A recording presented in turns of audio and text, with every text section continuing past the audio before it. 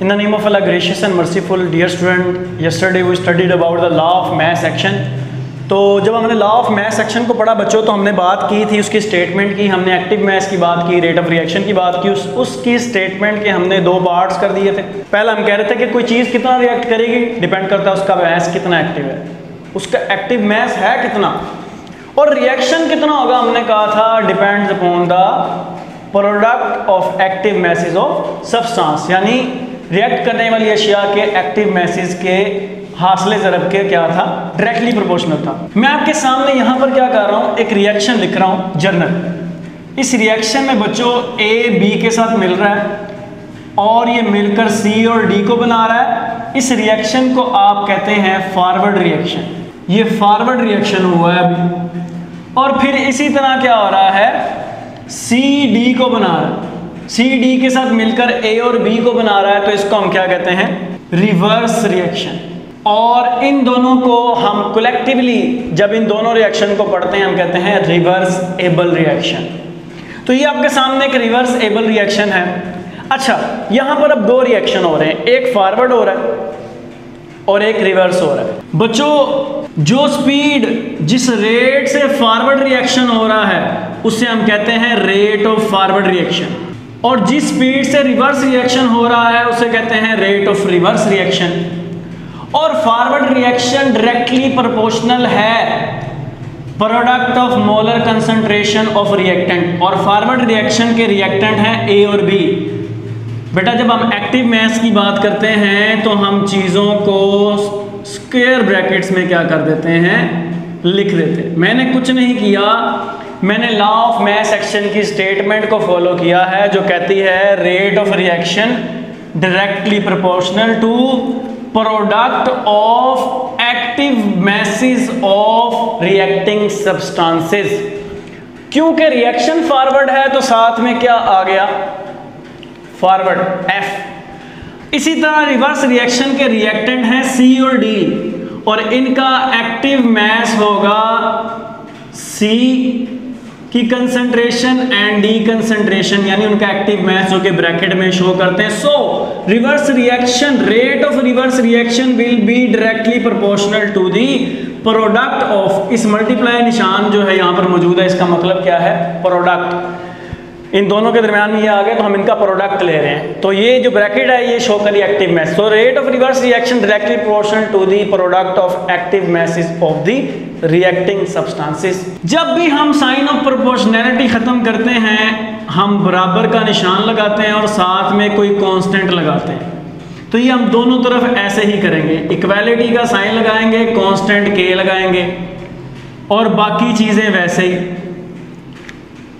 Same as it is हाँ फ़र्क क्या करना है? क्योंकि ये कांस्टेंट फॉरवर्ड रिएक्शन का है तो इसके साथ एफ़ आ जाएगा और क्योंकि ये रिवर्स का है तो इसके साथ आर का निशान आ जाएगा।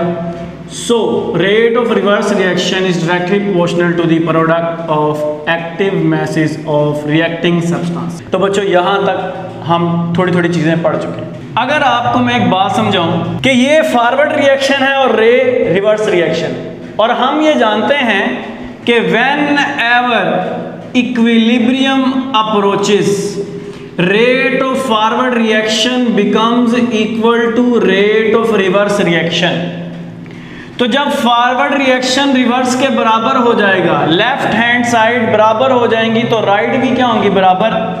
हम जानते हैं कि आर एफ़ की वैल्यू ये है, यानी K F concentration of A concentration of B और हम जानते हैं कि आर आर की वैल्यू है K R concentration of C and concentration of D हम कांस्टेंट एक तरफ़ ले लेंगे और कंसंट्रेशन मोलर कंसंट्रेशन एक तरफ़ ले लेंगे। के एफ़ यहीं पे के आर इसके नीचे।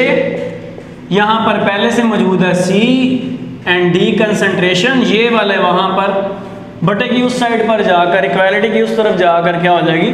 डिवाइड हो जाएगी। जब ये इक्वालिटी की उस तरफ़ जाकर डिवाइड होगी तो ये होगा A concentration and B concentration and we know that when constant divides with a constant, it gives a new constant, and that is equilibrium constant.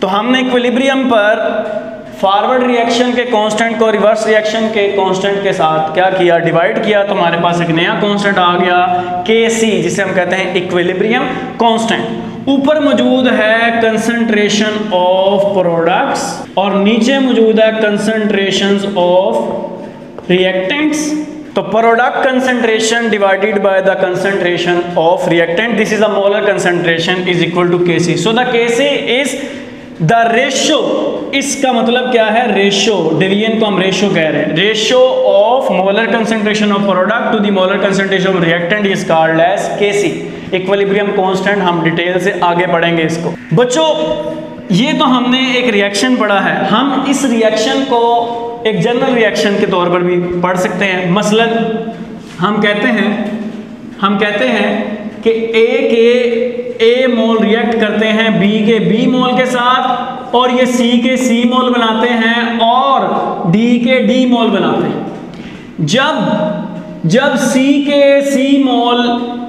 और डी के डी मोल आपस में मिलते हैं तो ये दोबारा किसको बनाते हैं? A mole of A and B mole of B असल में ये स्मॉल अल्फ़ाबेट्स जिसे हम छोटी ए बी सी कहते हैं, ये शो कर रहे हैं मोल्स को यहाँ पर, और यहाँ पर ये बड़े वाले कैपिटल वाले शो कर रहे हैं रिएक्टेंट्स को। तो ये भी एक रिवर्सिबल रिएक्शन है। इसमें भी क्या होगा? इसमें भी रेट ऑफ़ फॉरवर्ड रिएक्शन होगा, और इसमें भी रेट ऑफ़ रिवर्स रिएक्शन होगा। डायरेक्टली प्रोपोर्शनल होगा concentration of A and concentration of B इसका भी रिवर्स रिएक्शन डायरेक्टली प्रोपोर्शनल होगा concentration of C and concentration of D लेकिन एक बात यहाँ पर गौर तलब है। ये जो साथ में मोल्स मौजूद हैं, जिसके भी मोल्स हैं, वो उनकी कंसंट्रेशन ब्रैकेट्स की क्या बन जाएँगे? पावर यानी ए के ए मोल यहाँ पर आ जाएँगे। बी के बी मोल यहाँ पर आ जाएँगे सी के सी मोल यहाँ पर आ जाएँगे डी के डी मोल यहाँ पर आ जाएँगे। अगर मैं इसको पढ़ना चाहूँ तो मैं कैसे पढ़ूँगा? पुरानी वाली बात थी रेट ऑफ़ रिएक्शन यहाँ पर फॉरवर्ड है, मैं जनरल बात कर रहा हूँ। Rate of reaction directly proportional to the product of active masses of reacting substances ये पुरानी बात थी। अब क्यू पे ऊपर पावर आ गई है तो इसको हम कहते हैं with raise to power with raise to power that is equal to their number of moles अब जो पावर आ, जो एक्सपोनेंट था, वो पावर में चला गया और ये क्या है? इनके मोल्स हैं। ये इनके क्या हैं? ए और बी मोल्स हैं, यानी उसको हमने कंसंट्रेशन के क्या करना ऊपर। बाकी सारे स्टेप्स ये पुरानी डेरिवेशन की तरह है। क्या ये निशान खत्म होगा? इक्वेलिटी आएगी। जब भी प्रोपोर्शनैलिटी का निशान खत्म होगा इक्वेलिटी आएगी कांस्टेंट आएगा। कांस्टेंट फॉरवर्ड का है, साथ फॉरवर्ड आ जाएगा रिवर्स का है, साथ में रिवर्स आ जाएगा। बाकी सारी बातें वही पुरानी। ये यूँ ही नीचे आ जाएगा concentration of A concentration of B यहाँ पर concentration of C concentration of D एक बात नहीं भूलनी, इसके ऊपर small A small B small C small D इस तरह करके। फिर हम जानते हैं कि इक्विलिब्रियम की हालत में क्या होता है? रेट ऑफ़ फॉरवर्ड रिएक्शन बराबर हो जाता है रेट ऑफ़ रिवर्स रिएक्शन के। यानी ये दोनों साइडें बराबर हैं तो ये साइडें भी क्या होंगी बराबर? तो हमने लिख देना है K F concentration molar concentration A and B with raised to power of their coefficients is equal to uh, constant Kr and then C and then D और उनके ऊपर आपने इनकी लिख देनी है कंसंट्रेशन फिर वही काम करना है कांस्टेंट एक साइड पर कांस्टेंट्स एक साइड पर और और कंसंट्रेशंस आपने क्या करनी है बचा? दूसरी साइड पर ले जानी है। तो ये हम दूसरी साइड पर ले आए इसको। और फिर वही पुरानी बात कि जब कांस्टेंट कांस्टेंट के साथ डिवाइड करेगा तो नया कांस्टेंट आएगा, क्योंकि इक्विलिब्रियम की हालत में इसको इक्विलिब्रियम कांस्टेंट कहते हैं। ऊपर मौजूद है प्रोडक्ट की कंसंट्रेशन और नीचे मौजूद है रिएक्टेंट की कंसंट्रेशन और साथ ही साथ उनकी जो मौजूद है मोल्स एज अ पावर तो ये फिर दोबारा क्या आ गया? Ratio of molar concentration of product to the reactant is equal to the equilibrium constant आप किसी भी रिएक्शन को इस फॉर्म में ला सकते हैं।